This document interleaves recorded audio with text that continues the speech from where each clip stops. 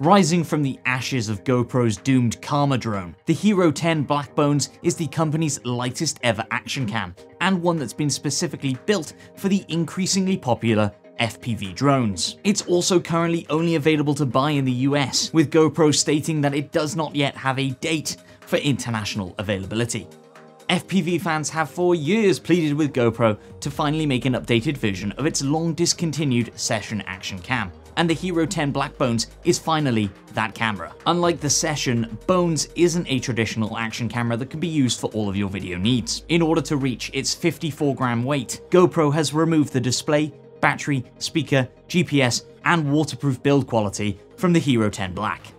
FPV drone fans can buy the Hero 10 Black Bones today for just under $400 with a GoPro subscription or just under $500 without the subscription.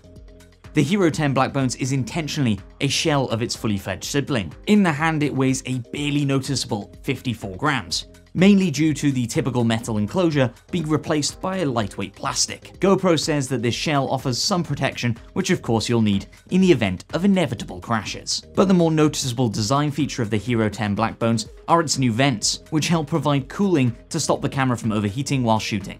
On the back of the camera there are just two buttons, one for power and the other for switching between video and stills. Above those buttons is an LED light which blinks in various familiar GoPro ways to tell you which mode you're in. Fortunately, there are easier ways to interact with the Hero 10 Black Bones. You can control it using the GoPro Quick app, GoPro's remote accessory, or, as our FPV pilot did, use QR codes generated from QR Control. Plugging the bones into a drone and mounting it safely involves a little more tinkering than your average GoPro. On the back of the camera is a socket for a GH 1.25 3-pin connector, which connects to both the battery and also your drone's flight controller. You can also mount the camera pretty easily using a single screw boss or on larger drones, the included adapter for GoPro's existing mounting system.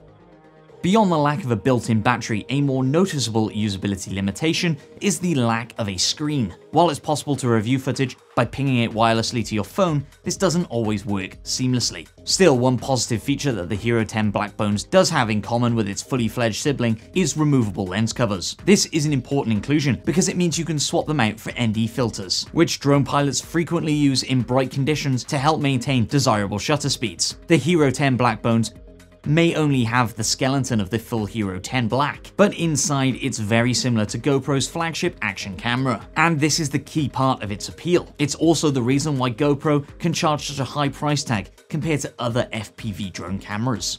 Like the Hero 10 Black, it can shoot 5.3K at 60 frames per second or 4K at 120 frames per second. You can choose to shoot this in GoPro's color profiles or a flat color profile for grading afterwards. Thanks to the GP2 processor, you also get access to Hypersmooth 4.0 stabilization, which is pretty much the best available on any action camera. This is the simplest way to stabilize your FPV drone footage, but it's not necessarily the one most pilots will go for, because there's also the option of using ReelSteady afterwards. Rather than cropping your video in to smooth out bumps and jitters, like Hypersmooth does, ReelSteady software taps into the gyro metadata from your GoPro videos. The benefit of this approach is that you have far more control over the stabilization and can tweak away knowing that your original footage is safe and sound. This is why GoPro acquired ReelSteady in March of 2020, and has now combined it with its own GoPro Player desktop software, which you can use to edit your Hero 10 Black Bone footage. A license for this software comes included with Bones, and is what our FPV drone pilot used to stabilize the sample footage that you're watching throughout this review. The Hero 10 Black Bones is the most niche GoPro you can buy, but it's also one that is perfectly evolved for FPV drones. If you're interested in creating dynamic aerial videos and are willing to put in the flying practice, it offers the best FPV camera and stabilization experience around, for a price. Let us know down in the comments below what you think of GoPro's latest camera, and remember to subscribe to TechRadar here on YouTube so you don't miss any of our future tech reviews or news.